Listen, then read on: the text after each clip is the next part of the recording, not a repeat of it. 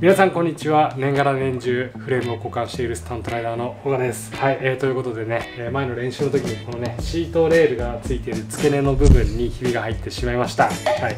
ということで今回も、えーこのスタント機のメインフレームを交換していきます。はい。で、えー今までねこの動画何本も作ってきたので今回ちょっと撮影手法を変えようかなと思って、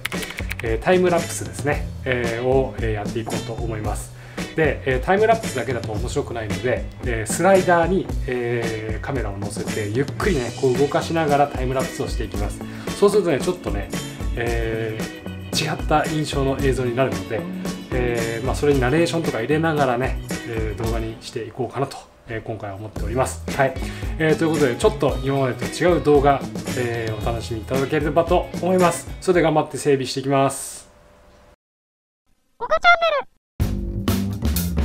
はいそれでは実際に整備をやっていきます、えーまずはですね外装とか外して、えーいきます。その後はハーネスですね、うん、で、えーハーネスとかの作業もしつつエンジンケージとか、まあ、あとは、えシュラウドとか、え外装パーツですね。そういったものもガンガンガンガン外していきます、ね。エンジンケージがねもう歪んだりとかしてね本当にねめんどくさいんですよ、うん、エンジンケージは本当に鬼門です。はい。でここからやっとハーネスに集中っていう感じですね。うん。あのー本当にめんどくさいのでバイクの向こう側にね椅子を置いて作業してます、うん、であとねタイムラプスなんで、えー上の時計にも注目ですね。作業開始したのが17時だったんですけどもどれぐらいでバイクを分解できるのかそんなところも注目して見ていきましょう。さあそしてリア周りも外れてきました。ね、えーマフラーとシートレールともうなくなっていますね。で続きに作業しているのがごめんなさいここででですね あの電池切れちゃっててタイムラプスがですね、えーちょっと撮れてませんでした。しかもフォーカスがねずれちゃっているというね、えー感じです、ね、バイクがちょっとぼやっとしちゃってますよね。ごめんなさい。ね素人撮影で申し訳ないです。はい。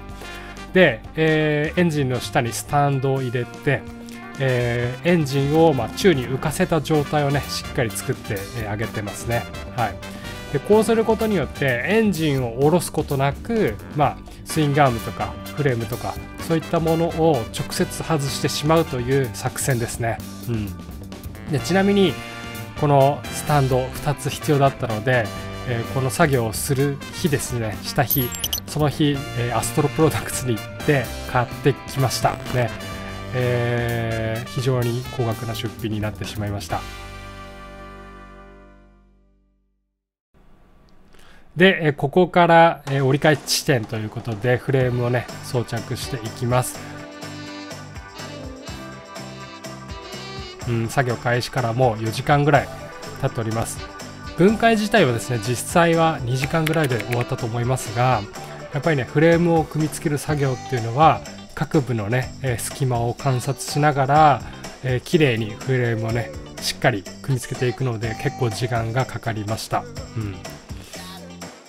えーただ今回ですねスタンドを2つ用意して、えエンジンを下ろすことなく作業したので、えーパワーを使うような作業っては実際なかったです、はい、でフレームの組み付けも非常に簡単でした。ね。えーなので、えーうまくねジャッキを2つ使うことによって、まあ、もう1個ねパンタグラフジャッキって言ってねちっちゃいジャッキ合計3つ使ってるんですけども、えーこのねジャッキをうまく組み合わせることによって、えかなりフレーム交換の作業が楽にやることができました、うん、本当にその自分のバイクだしね傷ついても気にしないし、えーこういうね DIY で大型のバイクのエンジンを組み替える、えーっていう際はこのね赤いジャッキとても便利ですので、えーぜひね参考に使ってみてください。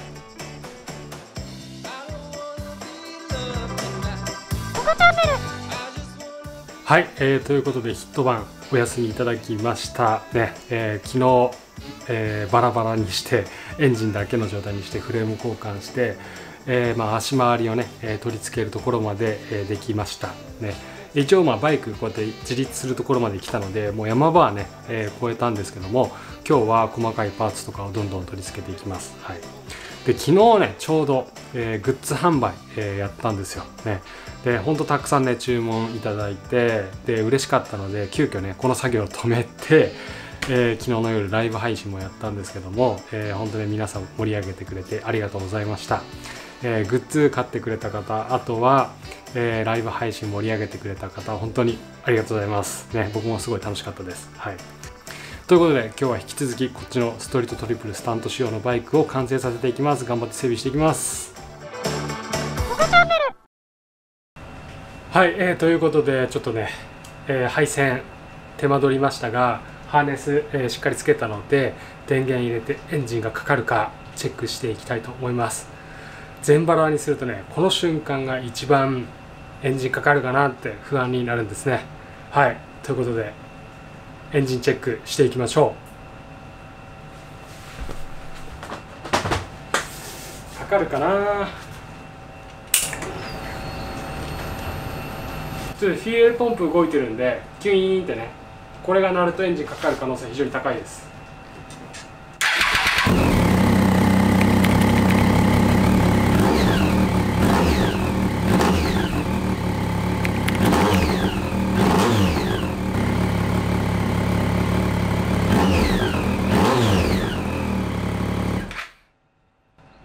ちょっとね排気漏れ見つけました。ね。えっとマフラーつける時にパイプがうまくジョイントが噛み合わさってなくて空気が漏れてて排気が漏れててちょっと排気音がおかしいのとなんかアイドリング安定しないなっていうのがあったのでまあそれ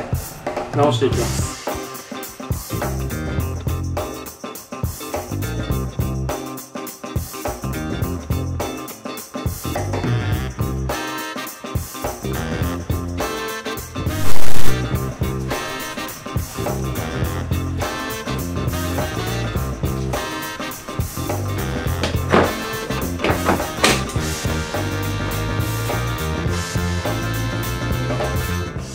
はい、えー、ということで、えー、無事に、まあ、ほぼほぼ完成しました。ちょっとまだラジエーターついてないんですけども、えー、ちょっと加工が必要なので、えそれはですねちょっと後で対応する予定です、え無事にエンジンもかかったしまあまあ、えとりあえず今回の、えフレーム交換の作業はこれで、え終わりかなという感じです。はい。であとはですね実際このねフレーム、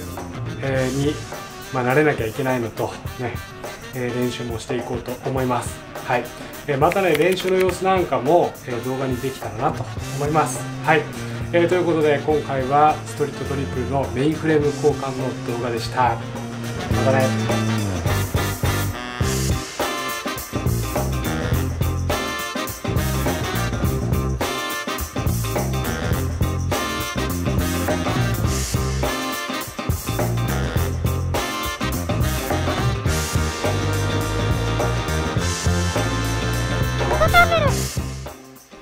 はい、えー、ということで最後まで動画をご覧いただきありがとうございます。はい、で、えー、最後にですね僕からまあ相談事が、えー、一つあります。はい、えー、今回みたくですね、えー、アルミフレームがひび入って、えーまあ、困ったりとか、まあ、スイングアームがぶっ壊れて困ったりとか、まあ、よくね、えー、金属系のことですごいね悩むことが多いんですけども、えーまあ、そういったものを直せる、まあ、業者さんでも職人さんでもいいんですけども、まあ、鉄工所だったりバイク屋さんだったり車屋さんだったり何でもいいんですけども、まあ、アルミ溶接、えー、ができてそういった今回みたいなフレーム直せますよとかであとは、ま、簡単なパーツとかだったら作れますよみたいな、えー、そういった、え、協力企業っていうのを今探しております。はいえー、もうシンプルにね、え、僕自身がアルミ溶接できないので、え、ああいうフレームを今直すえー、まあ、当てがないわけじゃないんですけどどうしてもその身近にないんですよ。なので、えー、僕は今ね埼玉県の、えー、吉川市っていうところに住んでるんですがその吉川市周辺の、えーまあ、鉄工所なりバイク屋さんなり車屋さんなり、えーまあ、そういったですね金属加工が得意ですよ。かついつも小川チャンネル見てて、えー、小川選手にちょっと応援してあげたいと、えー、面倒を見てあげたいと、えー、そんなですね気持ちが、えー、ある、えー、お店。もしあったらですねコメント欄、えーまあ、Twitter の DM とかでも構いません。ね、えー、連絡をいただけると、えー、嬉しいです。はい、まあ、将来的には僕自身もなんかアルミ溶接とか鉄の溶接とか金属加工みたいなこと自分でやってみたいなってすごい思っててまあそういうね、え金属加工のやり方を教えてあげるよとか、ものづくりこうやってやるんだよみたいなね、なんかこういろいろ教えてくれる、えー、まあ企業だったりとか、えー、まあ協力してくれる方がもしいたらですね、えー、連絡をいただければと思います。はい。えー、コメントでも、Twitter でも、Facebook でも、Instagram でもメッセージいただければ、えー、こちらからですね、えー、折り返しの連絡させていただきますので、えー、ぜひご一報いただけると助かります。はい。えー、それでは皆さんの協力お待ちしております。